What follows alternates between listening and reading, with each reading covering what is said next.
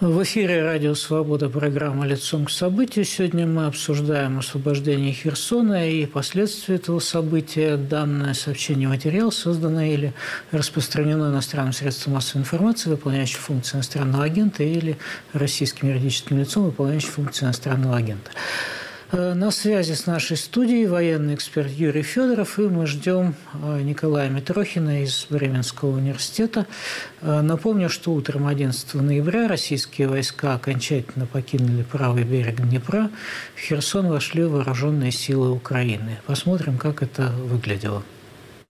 9 ноября командующий российскими силами генерал Сергей Суровикин и министр обороны России Сергей Шойгу разыграли перед телекамерами сцену принятия решения об эвакуации войск из Херсона. Понимаю, что это очень непростое решение. В то же время мы сохраним самое главное – жизни наших военнослужащих и в целом боеспособность группировки войск, держать которую на правом берегу в ограниченном районе бесперспективно. В 5 утра 11 ноября завершился отвод 30-тысячной группировки российских войск на левый берег Днепра. Об этом представитель Минобороны сообщил в ходе брифинга. Ни одной единицы военной техники и вооружения на правом берегу не оставлено. Все российские военнослужащие переправились на левый берег реки Днепр. Потерь личного состава, вооружения, военной техники и материальных средств российской группировки войск не допущено. Министерство обороны Украины заявило, что пути отступления российских военных находятся под огневым контролем. Утром 11 ноября после отступления российские военные взорвали Антоновский мост в Херсоне, разрушив два пролета. В тот же день украинские войска вошли в город. Жители Херсона встретили их как освободителей.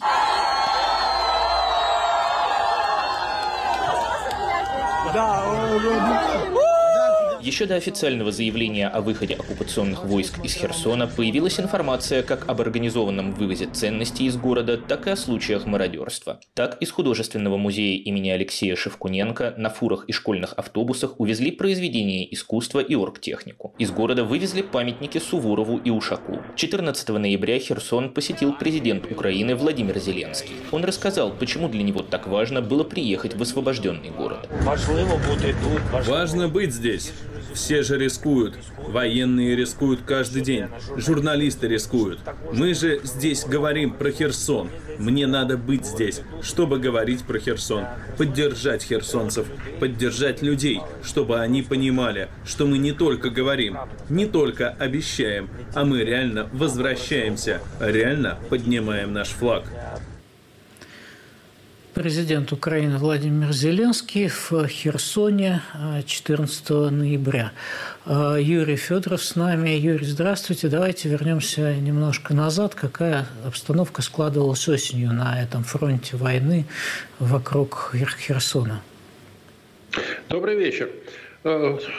Обстановка складывалась довольно противоречивая, я бы сказал, такая довольно интригующая, потому что, с одной стороны, было ясно, что э, удерживать Херсон, э, ну не то что Херсон, правый берег, э, правобережный плацдарм, ну, плацдарм на правом берегу Днепра, который в свое время, в марте, был оккупирован российскими войсками, Россия, в общем, не может – потому что под огневым контролем, это любимое выражение военных и военных аналитиков, находились коммуникации э, сильно э, поврежденные, я имею в виду и два стационарных моста, и железнодорожный мост, по которым снабжалась российская группировка на правом берегу, а компенсировать вот сокращение Э, сокращение снабжения боеприпасами и всем прочим, без чего невозможно воевать, путем наведения понтонных переправ было, было невозможно. Э, так что это был первый и, строго говоря, такой сугубо военный фактор того, что э, ну, рано или поздно русским войскам придется покидать правый берег. Это первое. Второе – Э, цели, которые ставились в свое время перед э, российской группировкой на правом берегу, а конкретно это наступление на Николаев и Одессу, с одной стороны, э, с другой стороны, прорыв по направлению к Кривому Рогу, затем к Запорожью и Днепру, то есть прорыв в центральные области Украины, в общем, потерял актуальность. После того, как у Украины появились «Хаймарсы», которые уже в конце лета начали достаточно достаточно эффективно нарушать снабжение, разрушать вот эти стационарные переправы и так далее. В общем, эта идея уже потеряла актуальность. То есть держать крупную группировку, ну, по словам э, представителя Минобороны, там насчитывалось уже, правда, к концу ноября, э, к середине ноября, к э, моменту вывода насчитывалось примерно 30 тысяч человек, 5 с лишним тысяч единиц военного вооружения и военной техники. Держать ее было бессмысленно. И вот сочетание двух этих факторов привело к тому, что военные э, ставили перед, э, перед э, Кремлем и, я так думаю, перед президентом Путиным лично, вопрос о том, что нужно эвакуировать. Нужно эвакуировать войска с тем, чтобы использовать их на других направлениях. Ну, прежде всего, на Донецком направлении, вот на фронте, который идет от, эм, ну, где-то так примерно от Бах, Бахмута до Угледара. Вот в этом, э, в этом, э, в этом участке, в этом, э, на этой линии, для того, чтобы выполнить ту самую задачу, которую поставил Путин, задачу, которая представляет для Кремля особый политический интерес и особое политическое значение, а именно оккупация всей территории Донецкой области. Э, потому что подготовленных войск, а на правом берегу находились э, войска, относящиеся к так называемым элитным, то есть воздушно-десантные, десантно-штурмовые, хорошо подготовленные некоторые э, части мотострелковые, танковые. И вот эти войска были жизненно необходимы и сейчас жизненно необходимы российским военным для того, чтобы решать другие задачи. Вот это и было главным фактором. Однако э, постоянно шли какие-то неясные сообщения о том, что то ли Россия э, собирается выводить, то ли не собирается. Э, в Киеве вообще идею Э, ну, предположение о том, что Россия может э, освободить, уйти с правого берега, освободить его, встречалось с подозрением. И для этого были, в общем, э, достаточно серьезные основания.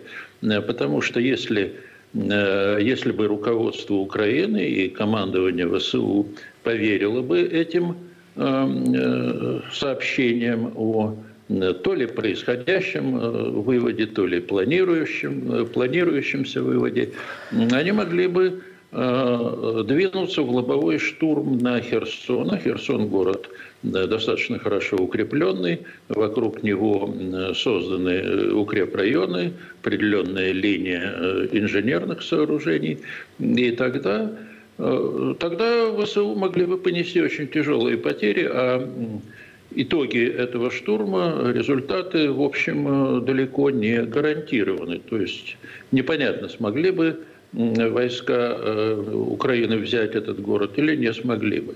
Но политические последствия для Зеленского и для э, командования ВСУ были бы очевидны.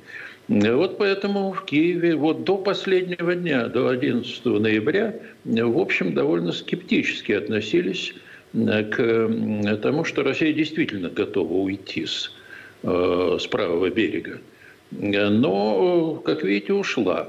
Ушла, и это создало, в общем, новую стратегическую ситуацию с совершенно новой конфигурацией стратегической на всех фронтах в Украине. Но об этом, может быть, чуть да, позже. Да, я думаю, что мы здесь об этом как раз поговорим чуть позже. Я приветствую Николая Митрохина. Каков ваш взгляд, вот что происходило на этом южном участке фронта? Действительно ли Россия какое-то время собиралась продолжать там наступление или этих сил уже не было?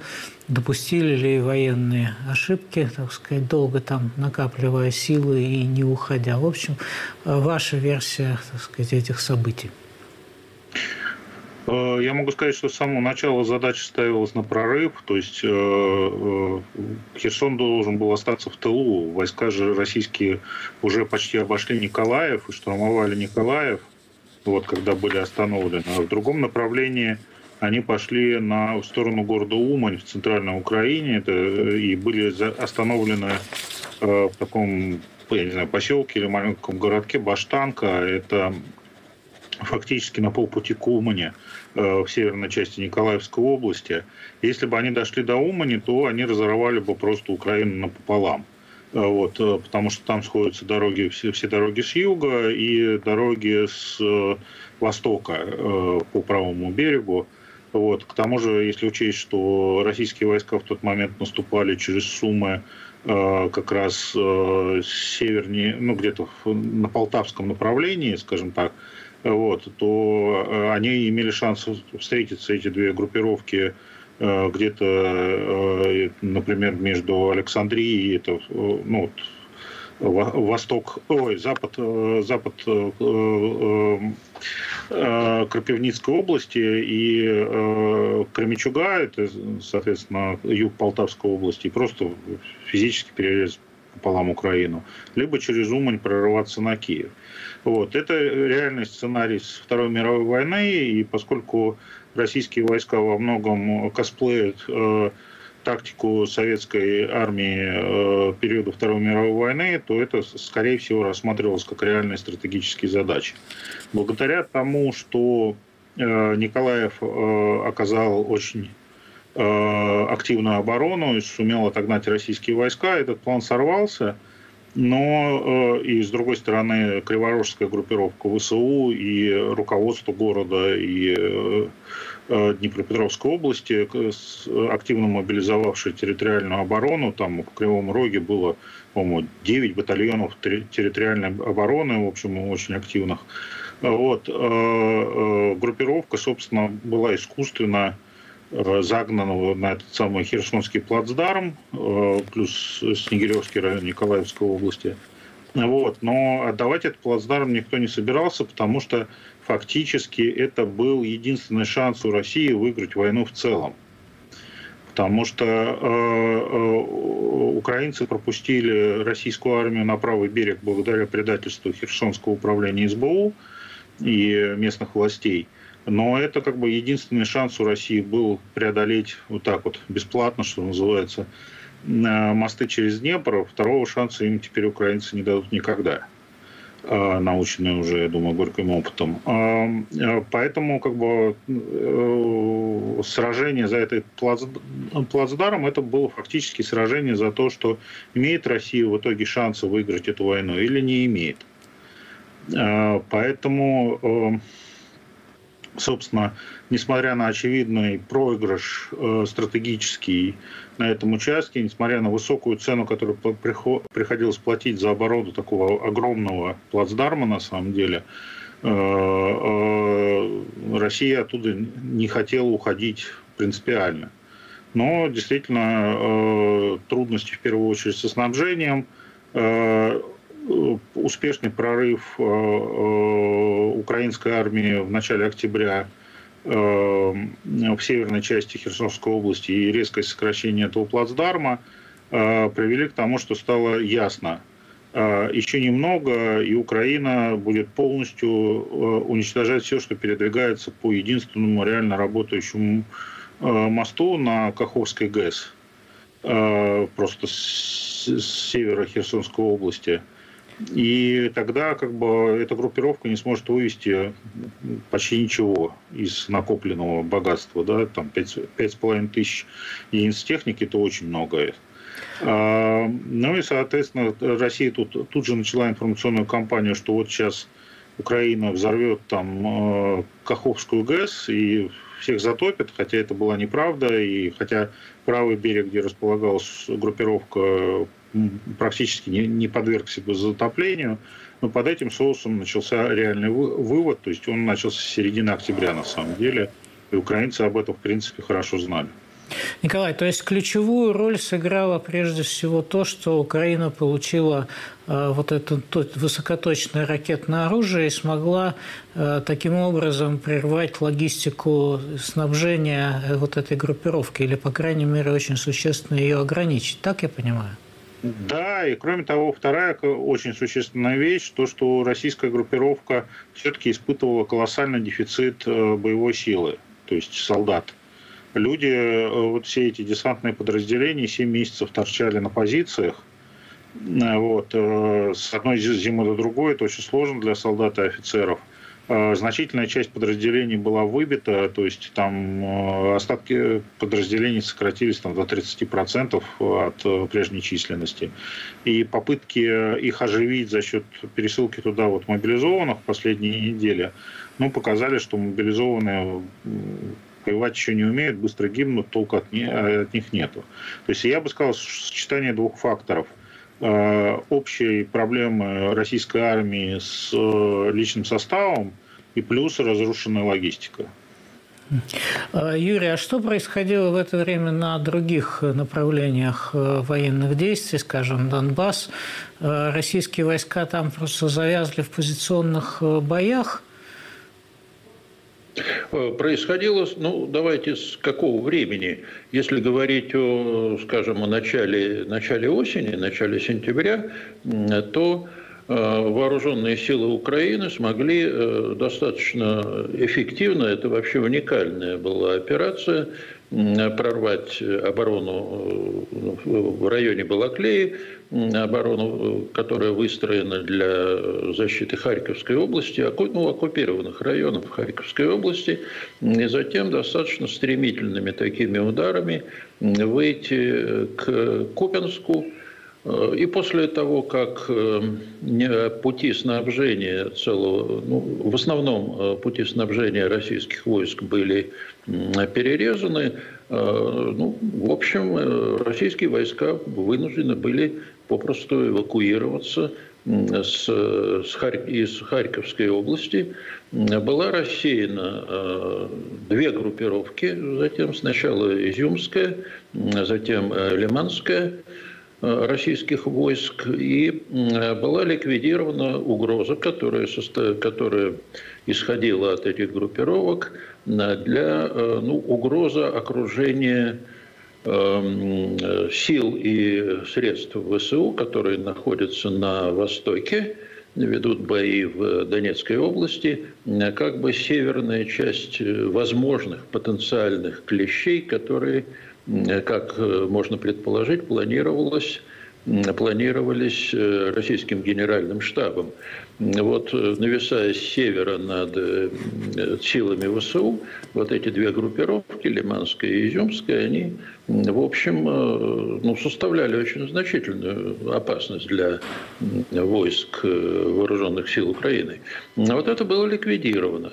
Но в сентябрь в основном все-таки прошел ну, по крайней мере, первая половина сентября прошла под знаком э, вот этой э, операции в Харьковской области, выхода вооруженных сил Украины на границу с Луганской областью, продвижения на э, восточный берег Оскола, реки Оскол и, соответственно, выхода вот уже к нынешней линии, ну, последняя, э, вот эта нынешняя линия, она, в общем, двигается очень медленно, но э, под угрозой со стороны Украины находится Сватово, находится Кременная. Сватово – это крупный железнодорожный узел, что очень важно для снабжения, контроль над которым очень важен для снабжения российских войск э, ну, в части, в части Донбасса, в части Донецкого фронта.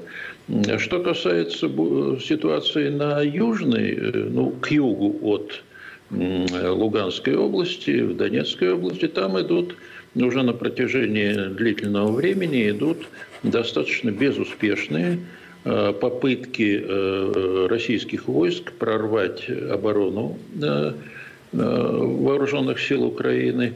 Но основными такими пунктами, которые сейчас находится в центре внимания. Это Бахмут или Бахмут. Я так до сих пор и не знаю, как правильно произносить это название. В Украине его, по-моему, произносят и так, и так. И второе, сейчас вот на э, большое внимание привлекают события вокруг Угледара, которые российские войска тоже пытаются пытаются взять. Но стратегическая задача, которая поставлена перед российскими войсками, выйти к границе Донецкой области. Ну, понятно, что эта задача прежде всего политическая, потому как после аннексии Э, вот этих территорий, так называемых народных республик, возникла совершенно нелепая в э, военном, политическом и юридическом э, смысле ситуация, когда половина Донецкой области, которая формально входит теперь, ну, с точки зрения Москвы, естественно, входит в состав России, вот теперь, но половина занята войсками Украины – и находится под контролем Украины. Но это, естественно, создает э, ну, вот такую своеобразную, конечно, политическую ситуацию и э, юридическую ситуацию. Так что вот такая ситуация. И теперь уже, если говорить о событиях самого последнего времени, и точнее о дискуссиях, которые идут в последнее время, это возникает э, перспектива, но она, по крайней мере, обсуждается. Обсуждается в Украине очень активно. И, э, в том, и обсуждается, кстати говоря, и российскими специалистами, так называемыми, э, ну не специалистами, военкоры их называют. Это люди, которые находятся в войсках э, главным образом и ну, отражают, как-то выражают те настроения, те, ту информацию воспроизводят, которую они получают от офицерского состава. Э, так вот, э, все чаще начинают писать о возможном возникновении, появлении третьего направления э, вооруженной борьбы. Это возможная атака, возможное наступление ВСУ в Запорожской области по, направ... по двум направлениям. Из Гуляй-Поля на Бердянск и из Орехова на а, Мелитополь через Токмак. Вот если э, действительно эта информация соответствует действительности, эти дискуссии отражают какие-то реальные процессы, которые реальные э, размышления, намерения и планы э, Генерального штаба Украины, ну, взятие Мелитополя, если оно произойдет, это, вот это будет, на мой взгляд, Э, будет э, коренным переломом в войне. Давайте мы теперь Николаю тоже дадим слово. Николай, вот э, ваш взгляд на вывод войск, собственно, российских, была ли эта операция успешной, мешали ли ей, и какую вот стратегическую ситуацию она создает теперь? Вот то, что начал говорить как раз ваш коллега. Да, по масштабам российской армии это действительно была успешная операция. Если мы сравним там ну, с Изюмским полукотлом, где было брошено э, по некоторым оценкам сотни как бы, единиц бронетанковой техники и точно, так сказать, сотни единиц разной техники, скажем так. А вот. Или Лиманский котел, где тоже было оставлено немало. Вот. Здесь э, вывод войск, вывод техники систематически продолжался, в общем-то, почти месяц.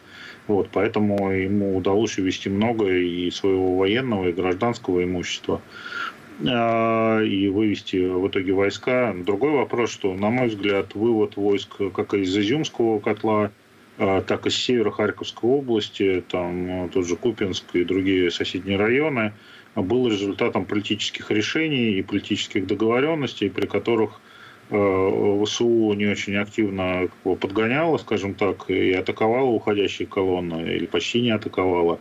А эти э, старались как бы побыстрее убраться. Вот. Э, это политическое обеспечение этого процесса тоже было важно в данной ситуации. Стратегический расклад создается следующий, что с выходом на правый берег Днепра ВСУ получает реальный огневой контроль принципе, практически до э, крымских перешейков. А, то есть прямой, прямой огневой контроль – это минимум на 25-30 километров вглубь от левого берега Днепра. Сегодня было объявлено, что э, Россия эвакуирует население в 15-километровой зоне от э, левого берега Днепра вглубь, вглубь территории. Что потенциально дает возможность для прямого десантирования ВСУ на левый берег.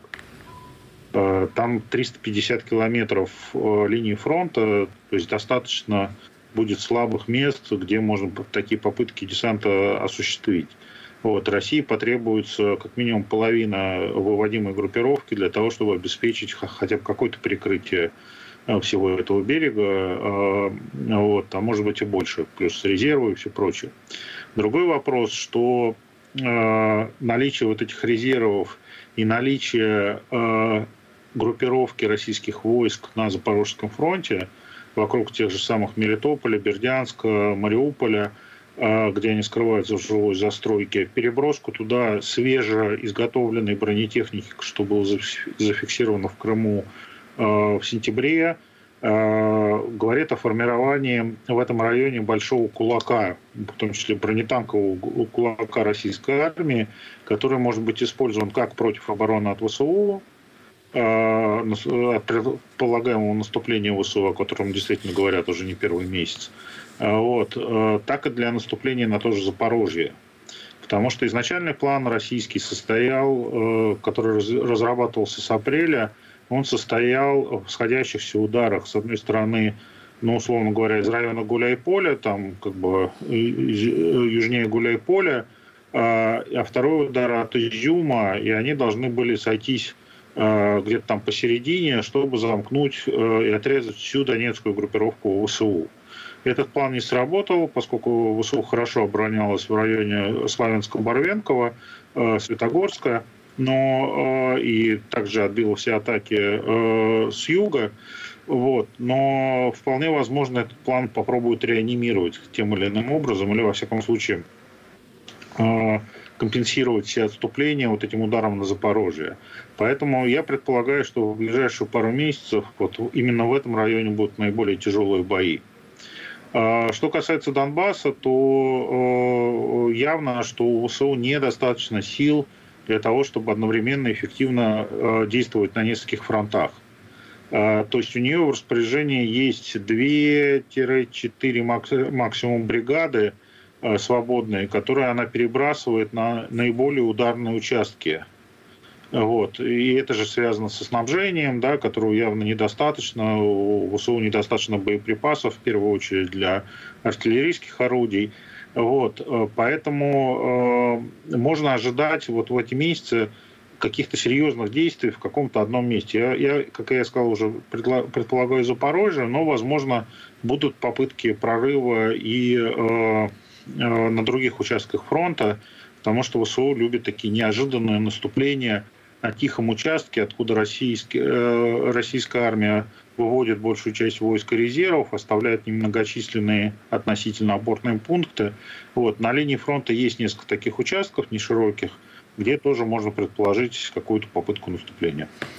А вот какая-то операция проходит на Кенбургской косе Николаевской области. Это как раз э, уже Э, так сказать, на другом берегу. Насколько это э, возможное, так сказать, направление, Николай? А, да, это было анонсировано губернатором еще Николаевской области три дня назад о том, что будем пробовать.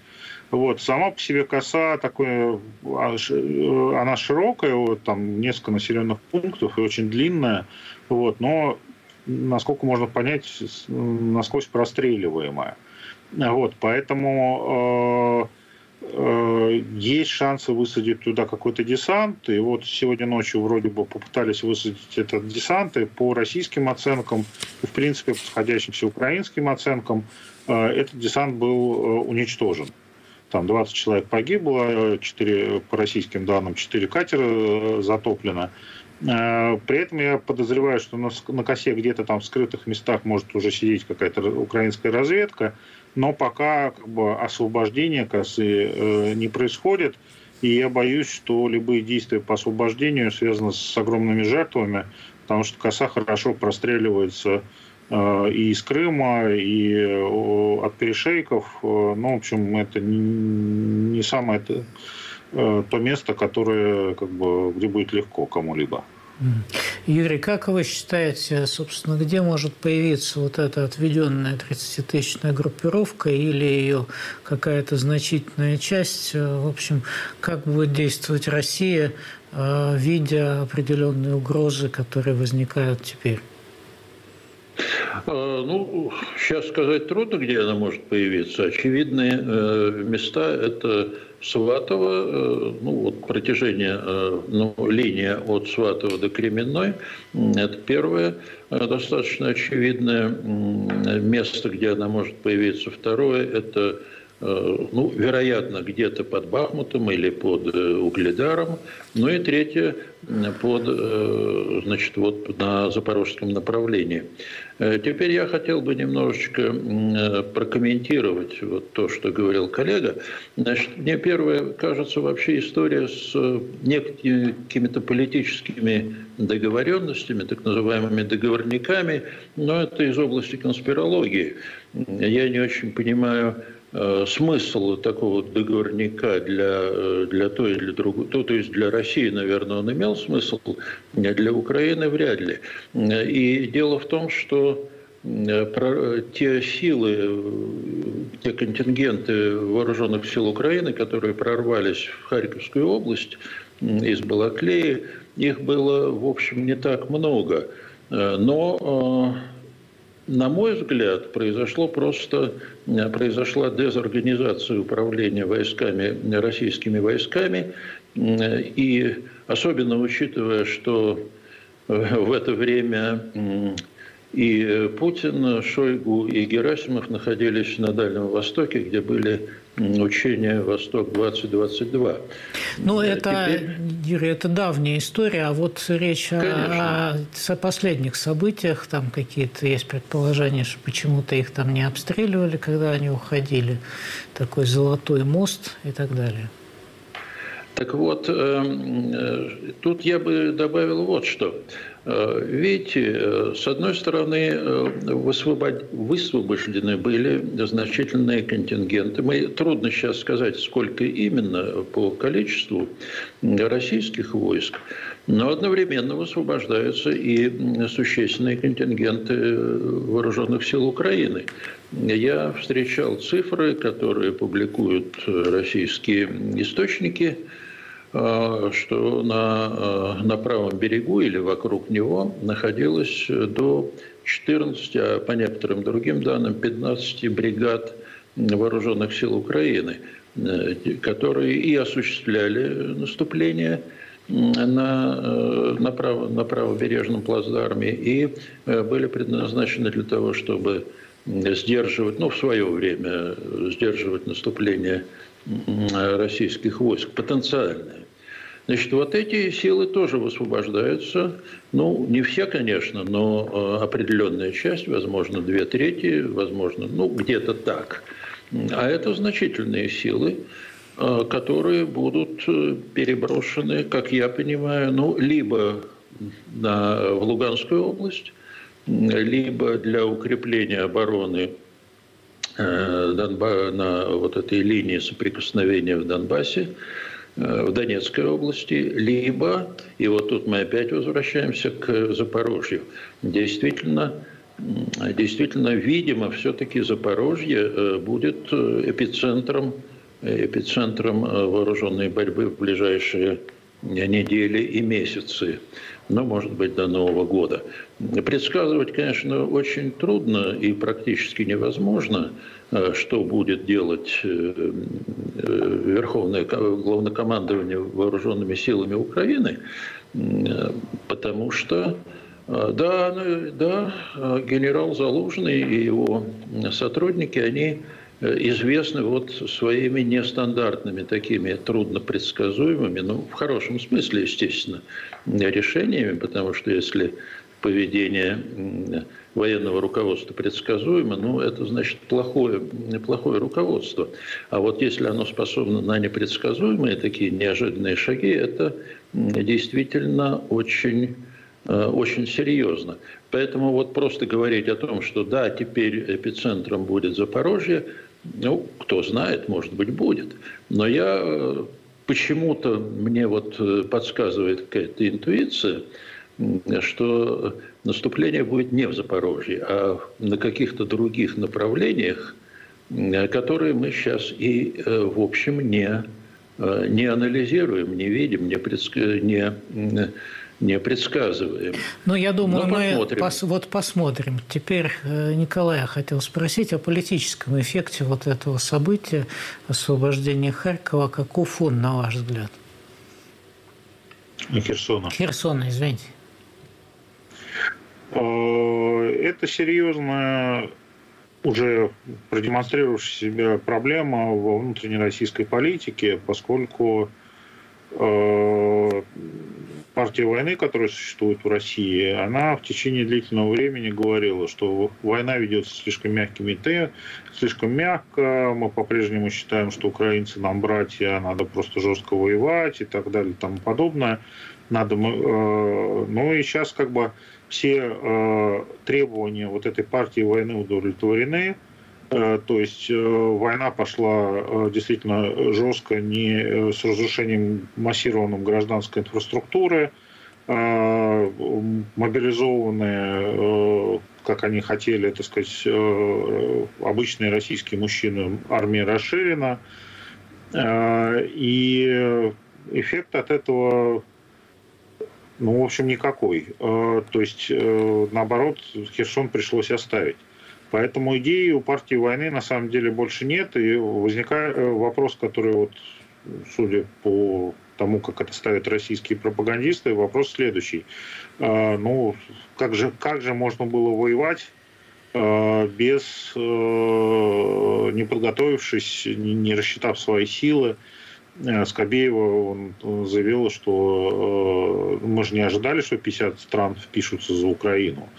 Вот. Второй как бы, вопрос, а зачем дальше воевать, если как бы, происходит ну, явная неудача одна за другой. След это уже пятая как бы, оставленная территория э, по-крупному. А вот. И ответ пока на этот, который формулируют пропагандисты, звучит так, что но мы же не можем бросить э, войну просто так. Ради чего-то мы ее начинали, то есть мы ее должны закончить с какой-нибудь прибылью. То есть э, происходит от, полный отказ от тех мотивов, которые были озвучены Путиным и политической верхушкой в начале войны. Вот. А, но из этого уже э, прямые и плохие последствия для российской власти, когда ее временные попутчики из числа русских националистов, активных, из тех, кто всегда идеологически хотел войну, э, типа того же Дугина, э, ну, говорят, что кто-то должен нести политическую ответственность за все эти провалы, так сказать, и Дугин публикует текст, что давайте вспомним там древневосточные обычаи забивать камнями царя, который вел неудачно там ну, компанию или неудачно руководил страной. Я смотрел, что тот же Егор Холмогоров, который как бы э, историосовские концепции которого об Украине Путин использует в своих речах, он перепечатывает эти дугинские тезисы, э, мол, как бы вот правильная позиция. Вот. Таким образом, э, внутри России вот эта вот партия войны начала э, крошиться и ссориться между собой.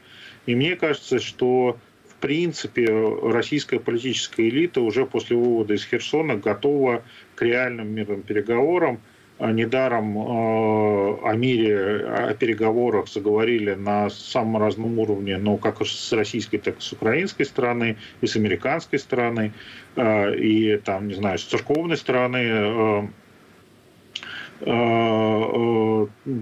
же митрополит Тихон Шевкунов как бы произнес довольно странную речь на эту тему. Таким образом, в принципе, некая общее понимание того, что война для России неудачная, у российского политического класса сторонников войны теперь есть.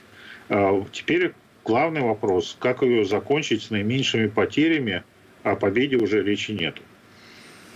Ну, трудно закончить войну, когда другая сторона занимает, в общем, достаточно твердую позицию, что сначала вы освободите оккупированные территории. Не правда ли? Ну, вот это, это и есть предмет для торговли. Как бы, что именно надо освободить, на каких условиях, э, э, чтобы как бы, достичь, если не мира, если не, при, не официального прекращения войны, то хотя бы заморозки э, боевых действий.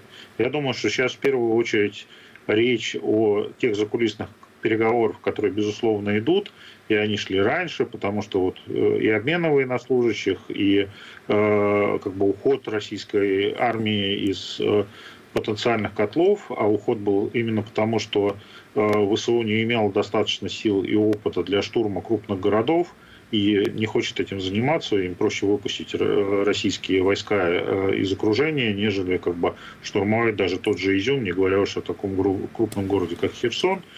А вот. Э, эти переговоры явно идут, и, и я думаю, что на чем-то обе стороны сговорятся рано или поздно. Возможно, правда, это будет после последнего решающего вот сражения тех группировок, которые сейчас есть. Э, Юрий, что вы скажете об этих попытках российских властей вот э, как-то втянуть э, кого других, другие, другую сторону в переговоры, говорить о переговорах без предварительных условий, так сказать, воспользоваться какими-то, ну, скажем так, относительно мягкими политиками Запада, в конце концов, вот президент Франции Макрон призвал увеличить дипломатические усилия, чтобы убедить стороны конфликта сесть за стол переговоров. А вот, э, собственно, что-то может из этого получиться, или э, сначала действительно должна быть реализована позиция Украины о том, что российские войска должны быть выведены с занятых территорий? Ну, первое. Э, я думаю, что мы сильно преувеличиваем влияние э, партии войны, если только э, не включать в эту партию самого президента Владимира Путина. Мне кажется, что главная фигура в этой партии войны это, – это сам Путин который инициировал войну и который может, и, видимо, у него есть основания опасаться, что проигранная война тяжело на нем скажется. Ну уж тут можно очень много размышлять на тему о том, как она именно может на нем сказаться, но не будем этого делать. А, Все, что за Путиным, э, помимо Путина, те люди, которые входят в эту партию войны, это все фигуры второстепенные. Я уж не говорю о э, таких персонажах, как там э, Дугин или Холмогоров или кто-то еще. Эти все пропагандисты – это говорящие рты, которые, которым э, спускаются определенные установки из администрации президента, и они э, озвучивают определенные тезисы, которые им поручено озвучивать, ну, в меру своей, э, своей компетентности и своих способностей. Далеко не всегда эти способности соответствуют ну, амбициям, скажем так. Э, поэтому вопрос о мирных э, решениях, о политических решениях, он опирается, с одной стороны, в позицию Путина, который э, ну, вполне, вполне ясно добивается каких-то Э, результатов, которые можно выдать за победу. Но это абсолютно банальное утверждение, которое все повторяют. Вопрос в том, как, насколько можно э, уговорить или э, заставить Киев признать какие-то возможные, отойти от тех требований, которые они выдвигают. В этой связи действительно вот такие попытки, они идут. И сегодня, например, появились, они вчера появились, эти сообщения, но сегодня они были некоторым образом детализированы о переговорах Нарышкина и Уильяма Бернса в, в Турции. Не помню сейчас, в Анкаре или... Ну, в Анкаре, по-моему. Вот там э, какие-то какие сюжеты обсуждаются, естественно. Именно связанные с э, мирными э, возможностью прекращения огня или какого-то перемирия, а, ну, попадают в СМИ, в основном в телеграм-каналы, разные варианты, скажем, ухода России с тех или иных территорий, разного рода варианты, связанные с, со статусом Крыма, а, ну, их сейчас э, пересказывать, я думаю, не имеет смысла, потому что Скорее всего, это какие-то утечки, э, предназначенные для того, чтобы либо дезинформировать противника, либо э, создать какую-то э, непонятную атмосферу, но напряженную атмосферу на, вокруг этих контактов, переговоров, разговоров, как хотите. Важно другое. Важно, в какой мере Украина руководство Украины и общество Украины готово к, к тому, чтобы отказаться от требования возвращения э, вывода российских войск границам 1991 года. Вот это ключевой момент. И у меня нет, э, нет ощущения, ну, по крайней мере, все, что я знаю, все, что я вижу о позициях и настроениях в Украине говорит о том, что общество и армия э, не будет поддерживать э, какие-то варианты, связанные с, э, ну, хотя бы с частичным отказом от всех территорий, оккупированных в 2014-2015 году и вот в этом году. И, естественно, вопрос о Крыме э, представляет собой, ну, мне кажется, очень трудно разрешимую проблему, если вообще разрешимую. Поэтому э, с другой стороны, у России, в общем, нет э, других инструментов, кроме того, чтобы целенаправленно и систематически разрушать инфраструктуру в Украине. Вот эта тотальная война на уничтожение Э, уничтожение системы жизнеобеспечения государства и населения. Эм, ну, я, честно говоря, не думаю, что она приведет к тем результатам, на которые рассчитывает Москва, имея в виду прежде всего опыт э, Второй мировой войны, где э, разрушение и Великобритании, и особенно Японии, и Германии – Э, которые ну, последние две страны были разрушены э, в колоссальной степени, в общем, не привело к росту пораженческих настроений, к появлению пораженческих настроений. Э, так что у меня ощущение, что, в общем, в ближайшее время все-таки достичь политического решения, несмотря на позицию определенных европейских политиков, они очевидны, они известны, Э, гораздо большее значение имеет позиция Соединенных Штатов, э, потому что это основной донор, прежде всего военный донор Украины. Вот эта позиция мне пока не ясна, потому что, видимо, э, нет ясности и в самом американском руководстве, в окружении президента Джо Байдена. Видимо, есть разные точки зрения, судя по ну, некоторым Э, так сказать, не то чтобы сигналом, но признаком э, дискуссии, которая идет в Вашингтоне и ну и в академических центрах, которые так или иначе отражают настроение и взгляды определенных э, влиятельных групп, групп влияния в американском истеблишменте. Так что пока сказать очень трудно.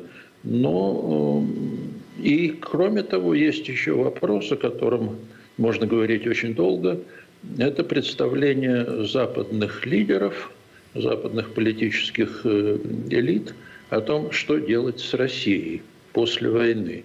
Вот в каком виде Россия должна предстать после войны.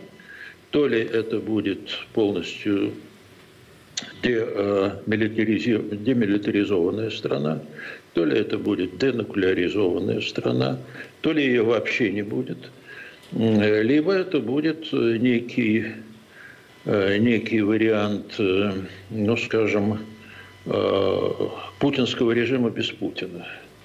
Такое тоже возможно. Но это долгая действительно дискуссия, это можно обсуждать. У меня вопрос Николаю. Как вы видите ситуацию? Вот сегодня была встреча в Индонезии президента Байдена и председателя Си, и вот там есть некий такой тезис, что обе стороны выступают против использования или угрозы использования ядерного оружия в Украине. То есть это, в общем, некий, некое такое предупреждение, видимо, Кремлю. А есть ли, на ваш взгляд, возможность, что э, Китай скорректирует свою позицию и окажет некое давление на Москву? Я думаю, что Китай так или иначе оказывает давление на Москву по важным для него вопросам. Прежде всего, это стоимость продовольствия и как бы вывоз продовольствия из России и Украины, что прямо влияет на цены внутренние, на внутреннюю стабильность Китая.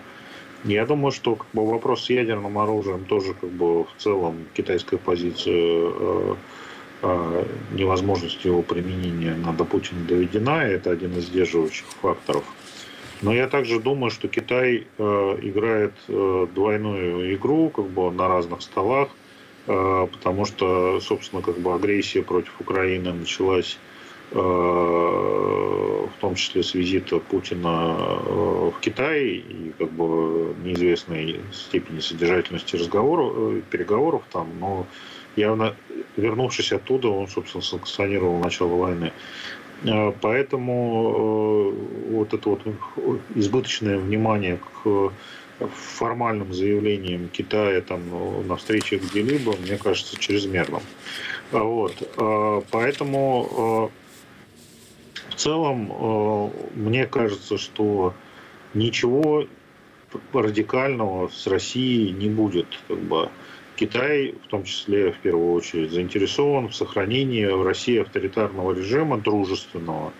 Вот. А это именно путинский режим, или там с Путиным, или без Путина, вполне и с Путиным. Вот. Я думаю, что э, мир в целом э, и основные спонсоры, э, то есть страны, помогающие Украине удержаться и сопротивляться, все равно будут рады, если боевые действия закончатся, вот, и будет э, э, каким-то договором, и будет возможность разблокировать часть санкций, потому что все это очень плохо влияет на мировую экономику в целом. Вот, хотя бы разблокировать часть этих санкций, хотя бы для того, чтобы Россия смогла платить Украине репарации. Поэтому э, мое предположение, что предмет реальных переговоров может быть замораживание конфликта Э, при отводе российских войск на позиции на 23 февраля. Э, вот, э, и как бы соглашение о выплате компенсации, репараций с одновременным разблокированием части российского экспорта. Я думаю, что хотя в украинском обществе действительно очень сильную роль играет своя партия войны, да, агрессивная, которая там порядка 25% населения, на самом деле военные, прежде всего ВСУ, знают пределы своих возможностей.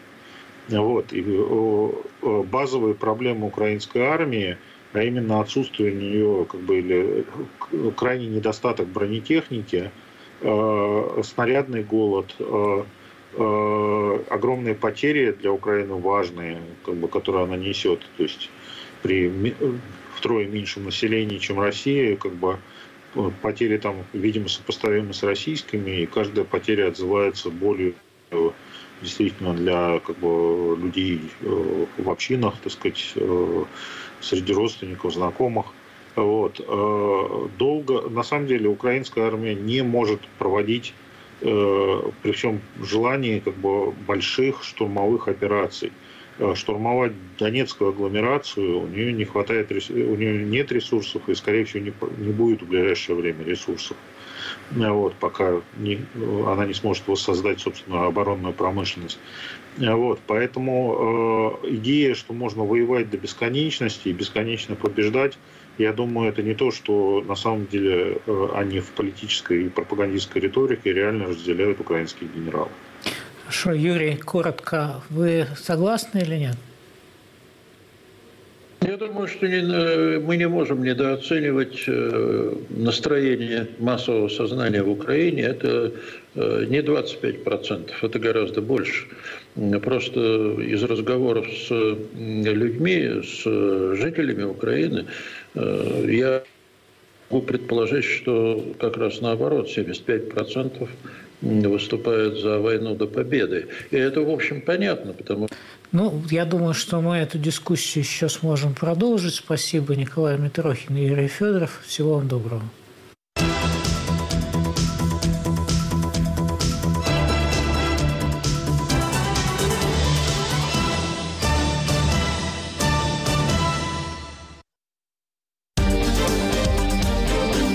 Если вы испытываете трудности с доступом к сайтам Радио Свобода, Свобода.орг, Сибреал.орг и Севреал.орг, воспользуйтесь VPN-клиентом.